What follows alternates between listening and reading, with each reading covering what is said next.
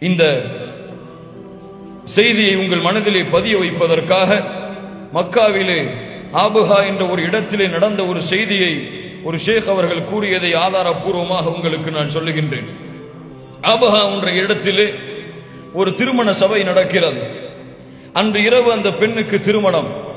அப்போது அந்த பெண் மகரிப் தொழுகையை முடித்துவிட்டு உடலெல்லாம் அலங்காரம் செய்துவிட்டு திருமணத்திற்காக தயாராகுகின்றாள். ஒரு மணி நேரம் ஒன்றரை மணி நேரம் அவள் தன்னை அலங்கரித்ததற்கு பிறகு மீண்டும் அதானுடைய சப்தம் கேட்கிறது ஐஷாவுடைய தொழுகைக்காக. தன் தாயிடத்திலே அந்த பெண் செல்லுகிறாள். சென்று கூறினாள் தாயே தொழுகைக்கு அதான் சொல்லப்பட்டு விட்டது. கீழே என்னை அழைத்துக் கொண்டிருக்கிறார்கள். நான் தொழுகையை முடித்து வந்து விடுகிறேன் என்று. அப்போது அந்த தாய் சொன்னார்கள் மகளே விளையாடுகிறாயா? உது செய்ய வேண்டும் நீ.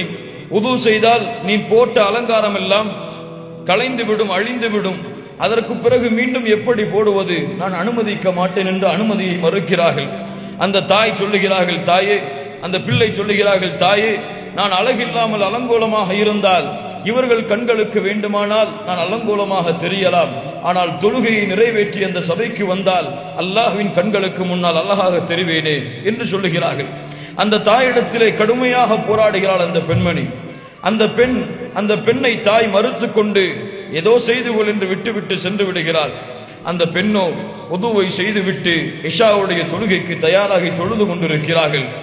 நீண்ட நேரமாகியும் பிள்ளை வராததை நினைத்து அந்த தாய் அந்த சபைக்கு அந்த அறைக்கு சென்று பார்த்தால் அந்த பிள்ளை சுஜூதிலே மரணமாகி இருக்கிறாள். இன்னாலில்லாஹி வ இன்னா இலைஹி ராஜிஊன். கண்ணியத்துக்குரியவர்களே இந்த செய்தி எப்படி நடந்தது? ஏன் அல்லாஹ் ரப்புல் ஆலமீன் இந்த பெண்ணுக்கு இப்படி மரணத்தை கொடுத்தான்? ஒருவேளை அந்த பெண் தொழுகை நிறைவேற்றாத நிலையிலே அல்லாஹ் மரணத்தை கொடுத்திருந்தால் ஆனால் அல்லாஹ் இப்படி மரணத்தை கொடுத்ததுடைய காரணம் என்ன? அல்லாஹுடைய தூதர் முஹம்மது ரசூலுல்லா சொல்லல்லாஹு அலைஹி வசல்லம் அவர்கள் தெளிவாக சொன்னார்கள் இதை பற்றிதான். இதா அராதல்லாஹு பி அப்தின் ஹைரா இஸ்தஅமலஹு. ஒரு அடியானுக்கு கொஞ்சம் கேளுங்கள் இந்த ஹதீஸை. என்னுடைய உள்ளத்திலே உங்களுடைய உள்ளத்திலே இதை பதிய வையுங்கள். ஒரு அடியானுக்கு யாருக்கு அல்லாஹ் நலவை நாடுகிறானோ ஒரு அடியானுக்கு அல்லாஹ் நலவை நாடிவிட்டால் அவனை செய்ய செயல்களை செய்ய செயல் செயல்களை செய்யப்படக்கூடியவனாக அல்லாஹ் மாற்றுவான். அவனை நல்ல காரியங்களை செய்வதற்காக அல்லாஹ் அவனை தயாராக்குவான்.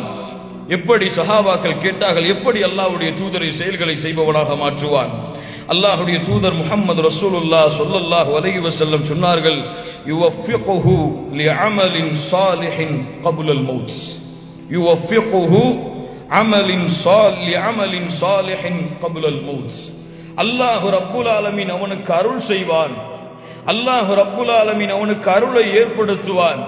மரணத்திற்கு முன்னதாக நல்ல செயலை செய்வதற்கு.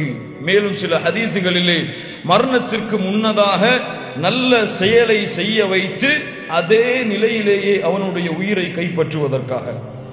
சுப்ஹான் அல்லாஹி ரப்பில் ஆலமீன். யோசித்து பாருங்கள். ஆனால் அல்லாஹ் அந்த நலவை நாடி நாடுகின்ற கூட்டத்தில் என் பெயரை அல்லாஹ் பதிந்திருப்பானா?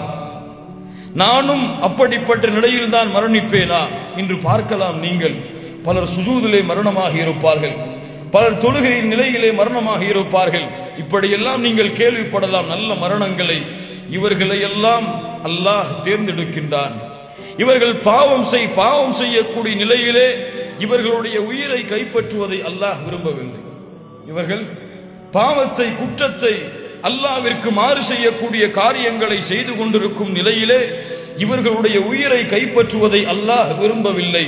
யாருக்கு அல்லாஹ் நலவை நாடுகிறானோ அவர்களை நல்ல செயல்கள் செய்யக்கூடிய நிலையிலேயே அல்லாஹ் அவர்களுக்கு மரணத்தை ஏற்படுத்தக்கூடிய பாக்கியத்தை அல்லாஹ்